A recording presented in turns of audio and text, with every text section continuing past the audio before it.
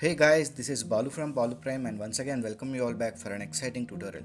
In this tutorial let us see how we can do color correction to our videos in After Effects without using any third party plugins that too in couple of minutes. So I hope you will find the video useful. So without any further ado let us start this.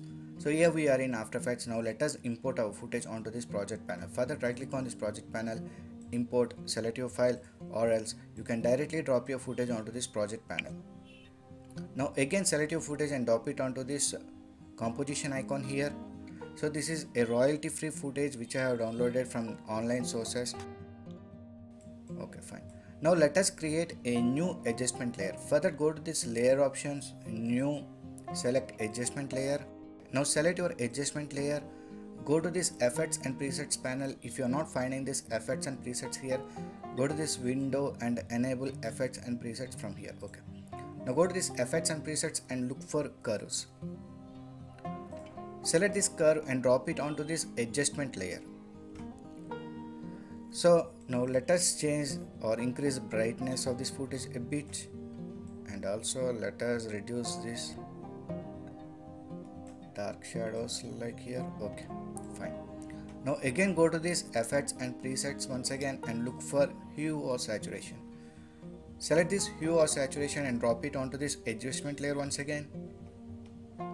Now come to this master saturation options.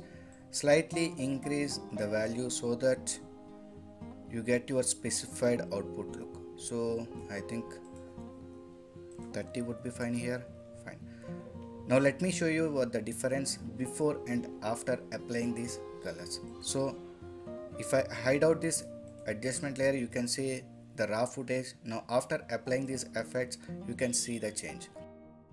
If you want to bring warm look to this footage just go to this curves click on this RGB and select red channels and slightly increase the red channel value. Here you can see as on I increase this curve you can see that our footage is getting a warm look. Fine. This is of your preferred choice. You can do this now let us see the difference before and after applying these effects. So let me hide out this adjustment layer. So before applying these effects you can see our footage is looking bit dull. And after applying these effects you can see that it is more vibrant and kind of warm look. So i hope you guys have learned something new from this tutorial. If you have learned anything new from this please click on that like button. To provide you valuable feedback or comments. If you're new to this channel consider subscribing my channel and support me. So we'll meet in the next video. Until then signing off. Take care. Bye